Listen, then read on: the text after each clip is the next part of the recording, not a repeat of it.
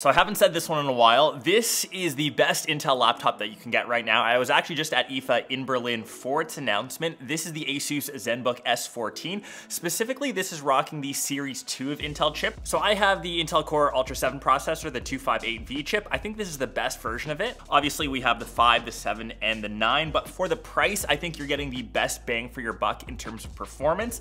And this thing has really gotten a lot better, and I would say even better than its AMD counterparts right now. And if you haven't haven't seen an Asus ZenBook laptop lately, I really love uh, what they're doing. They're just so thin, so lightweight, and it's kind of forged out of this new material that they've come out with. It's uh, called Ceraluminum. It's essentially a ceramic oxide that they put over top of the aluminum, and depending on the amount of pigment, electricity, and how long it takes, that gives it its final coating and color. So it comes in the two color options, either the gray or the white. It's this really premium and rich material. It's scratch resistant, fingerprint resistant, and it's just awesome to see a company that's usually focused on like performance, put so much thought and uh, you know time into something like design because that impacts how you use the laptop, you interact with it physically. So kind of obviously opening it up, like I said, razor, razor thin. So this is 1.1 centimeters, 1.2 kilograms.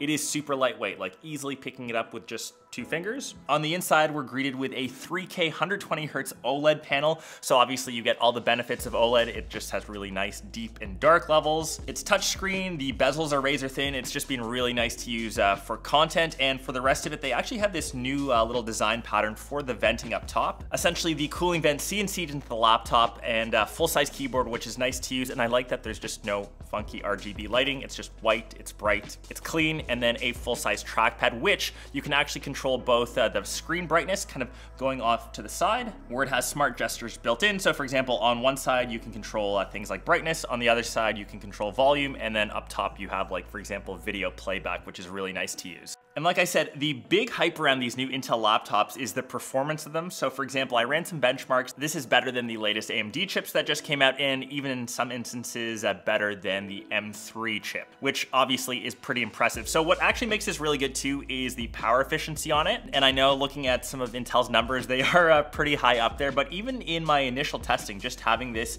kind of at idle, sitting there, it just kind of stays on all the time, like obviously all day long battery life. It's super silent I rarely hear the fans ramp up. And when I use it for, you know, what I use a laptop for mostly, uh, you know, staying productive, doing some work on, say, Photoshop, Lightroom, obviously uh, browsing the net, answering emails, running my business, uh, you know, doing a bit of like social media stuff on it, this thing was able to crush it completely fine.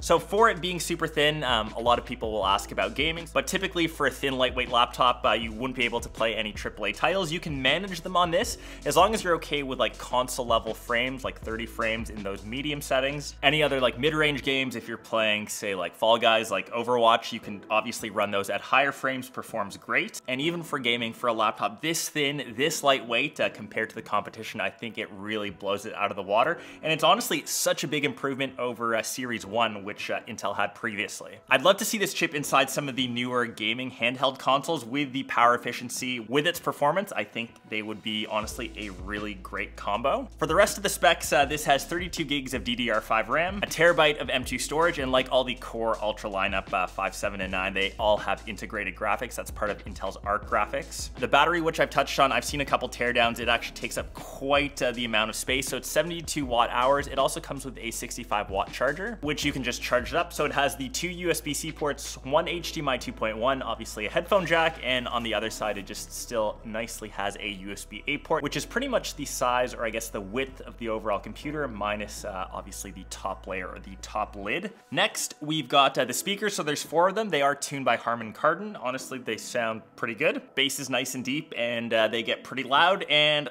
Lastly, obviously this being an AI PC, it's got its own dedicated NPU with 48 tops. Like I typically don't uh, always use some of the AI uh, features on it, but uh, for example, if you're not someone that utilizes it, it still kind of works in the background. For example, with the webcam, it helps uh, cancel out noise, even with the built-in like microphone, that helps remove any unwanted background noise. And if you are someone that uses like, for example, Windows Copilot to ask it a ton of questions. And obviously last but not least, price, which kind of relates back to the Core Ultra 7, uh, the model that I have here, which I think is right around that sweet spot. So $1,400 for an ultra premium, ultra thin, super, super efficient. Like the battery life on this has been great. Performance has also been really surprising for something like this thin, this lightweight at 1.2 kilograms with a very premium finish. I think uh, Intel has hit it out of the park with this one. So if you're grabbing one, let me know your thoughts. Would you get it in gray or the white? Like I said, the Ceraluminum finish is really nice.